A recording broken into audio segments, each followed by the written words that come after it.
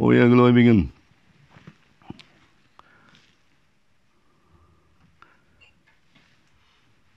was ist äh, die Stufe des Menschen auf Erden?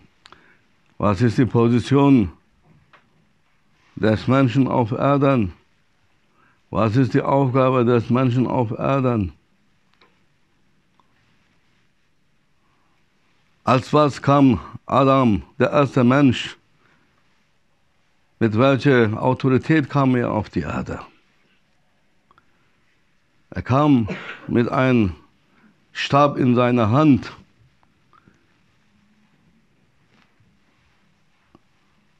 auf die Erde. Er hatte einen Stab in seiner Hand, sein Stock. Ah, das Einzige, was er vom Paradies mitgebracht hat, was ihm erlaubt wurde, was ihm in die Hand gedrückt wurde, war der Stab. Stab, was auch Moses später in seiner Hand gehalten hat und Rotes Meer in zwei gespalten hat.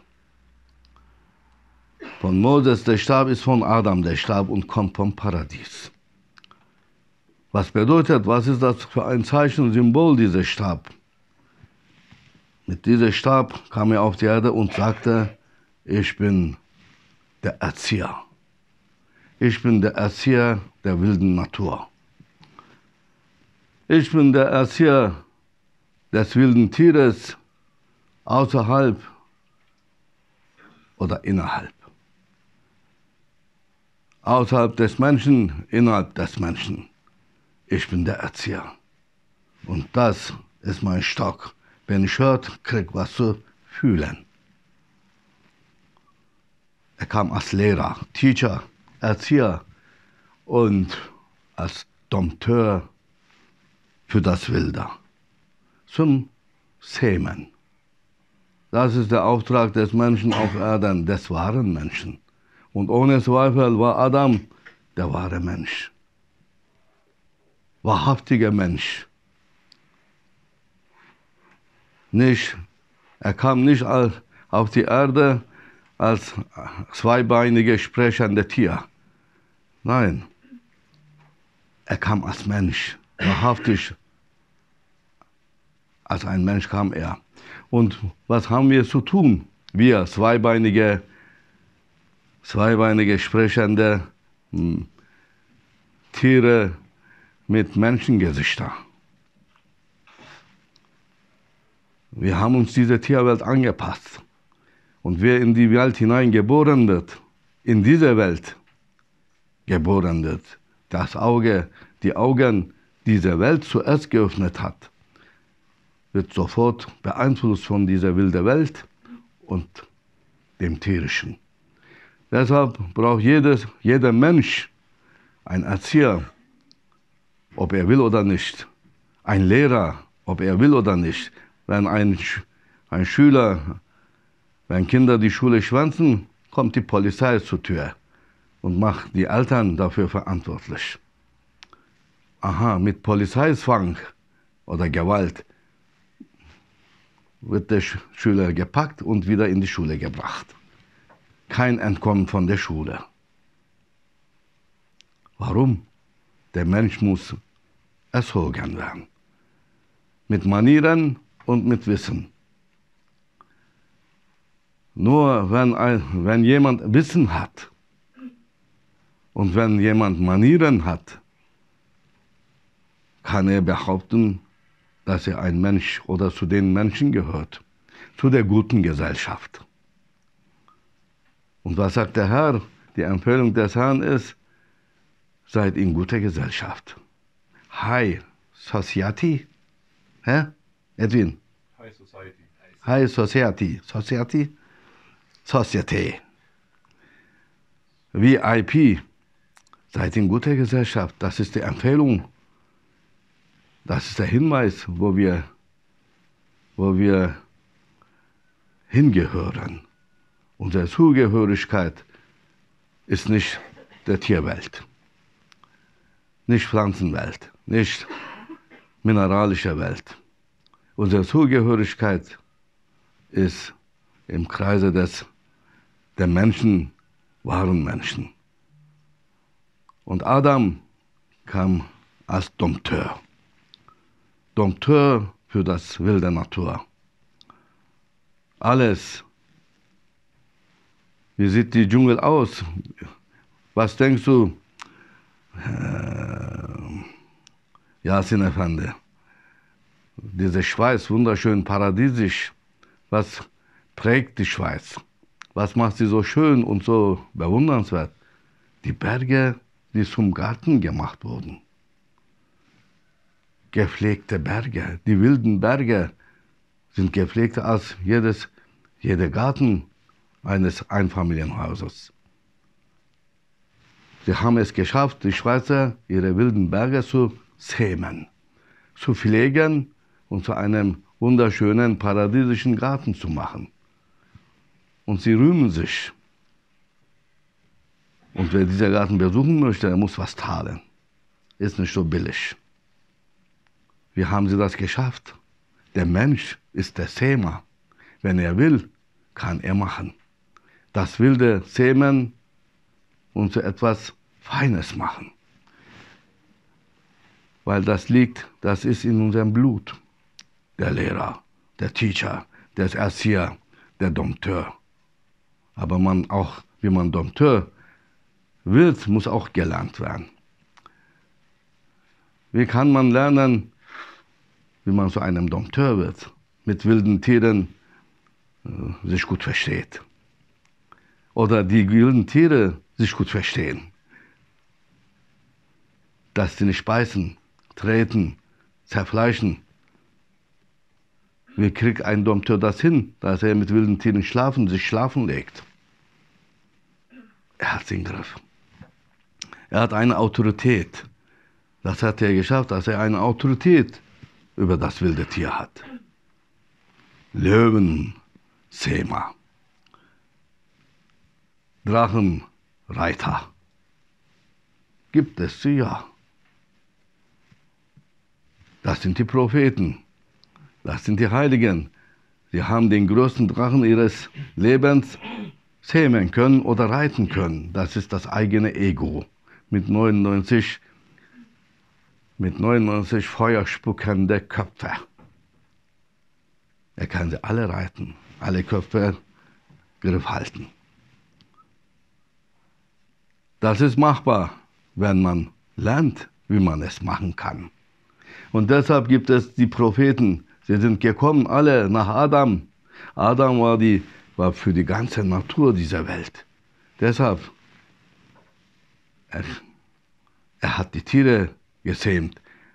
Mit Tieren hat er arbeiten können, das Pferd geritten. Das wilde Pferd zu Gehorsam gebracht. Er war der erste Reiter. Von ihm haben die anderen gelernt, die Nachkommenschaft. Und die Propheten, sie kamen alle mit einem Stab in der Hand. Das ist das Symbol des Themas. Das ist das Symbol des Dompteurs. Und auch die Dirigenten haben einen Stab in der Hand. Da, da, da, da. Da, da, da, da. Oh, das war nicht so, das war ein bisschen dramatisch. Da, da, da, da. Was bedeutet das? Und wer du hörst nicht. Und wer du machst dein eigenes Ding.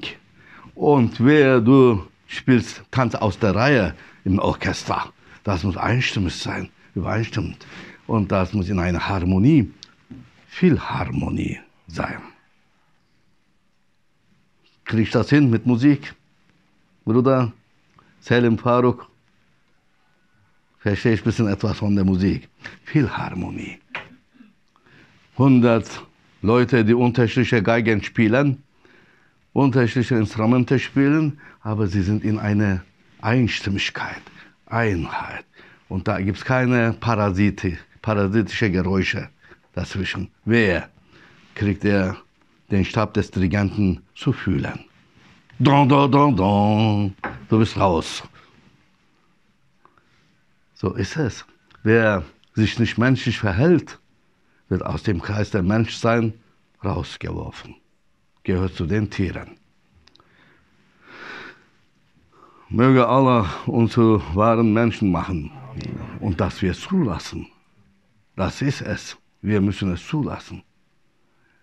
Diese Freiheit hat er uns geschenkt, den Tieren nicht, aber uns, den Menschen, hat er diese Freiheit geschenkt, dass ob wir es zulassen oder nicht zulassen. Die Welt geht berg runter. Die Welt geht in einen Abgrund runter. Die Menschheit geht in ein Feuer runter, fällt in eine endlose Feuer rein, weil die, die meisten, die, Mensch, die Mehrheit der Menschheit will es nicht zulassen, dass sie zu Menschen gemacht werden. Sie haben mit Menschlichkeit nicht mehr zu tun. Sie haben keine Menschlichkeit. Das Ego, das Tier reitet auf sie, nicht sie auf das Tier. Und deshalb, sie fallen in ein Feuer hinein. In ein großes Feuer, das wie ein Schneeball immer rollend größer werdend auf die Menschheit zukommt oder auf die, auf die angebliche Menschheit. Allah wird die Menschheit, wahre Menschheit, nicht vom Feuer anfassen lassen. Keine Angst. Wenn du zu den Menschen gehörst, zu dem Kreis der Menschheit, dir wird kein Feuer was antun können. Aber wer zu den wilden, zweibeinigen Sprechern der Tiere gehört, und sie lassen es nicht zu, dass sie zu Menschen gemacht werden. Diese Welt von Adam bis jetzt war eine Welt der, eine, ein Planet der Tiere. Aber jetzt kommt eine kurze Zeit von 40 Jahren, dass die Welt zu Planet der Menschheit gemacht wird. Und das hören wir auch zum ersten Mal. Für 40 Jahre mit Kommen von Jesus und Mehdi a.s. Diese Welt zum ersten Mal in seiner Weltgeschichte zu einem Planeten der Menschheit gemacht. Für 40 Jahre. Vorher Planet der Tiere, nachher Planet der hirnlosen Affen. 40 Jahre Planet der Menschheit. Wahre Menschen. Alle sind heilig, alle haben Wunderkräfte.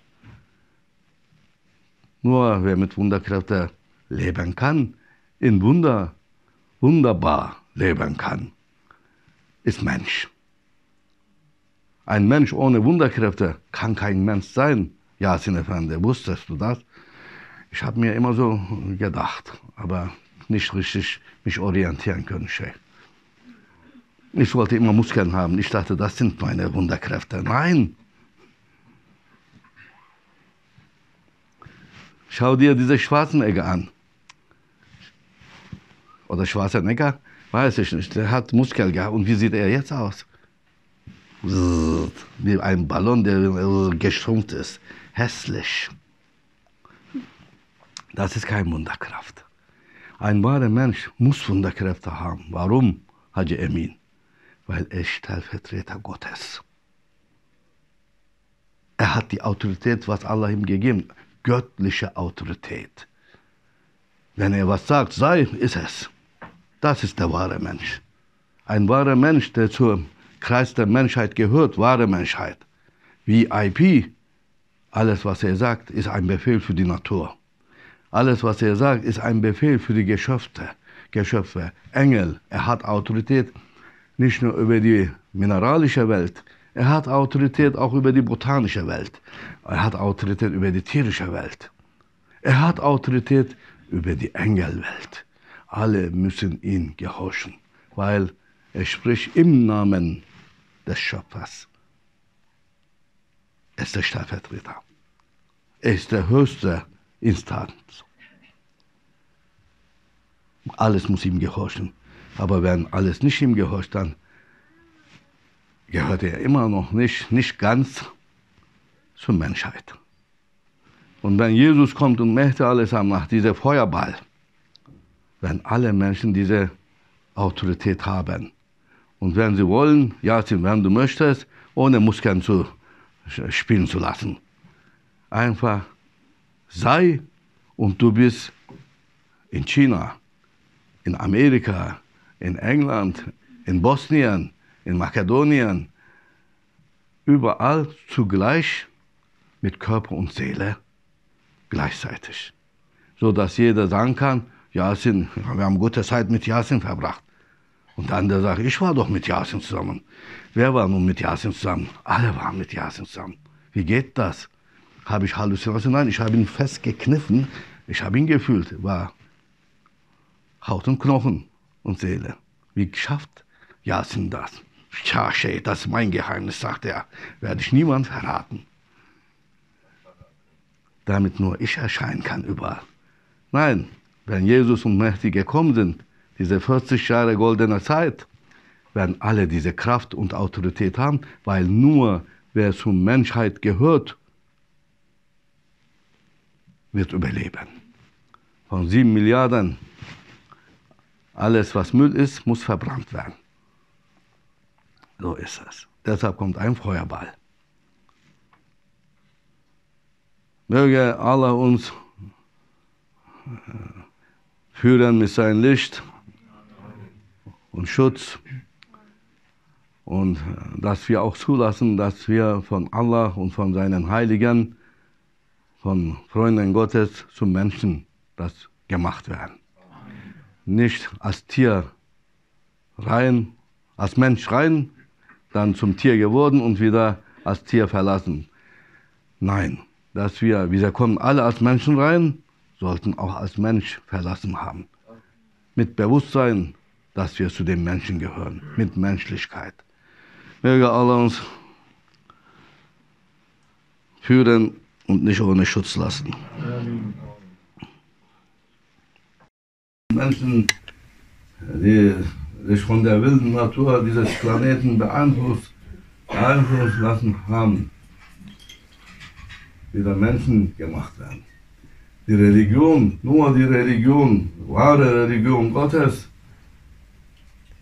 und die Lehrer dieser Religion, dieser Schule, können uns wieder zu Menschen machen, unsere eigentliche Position.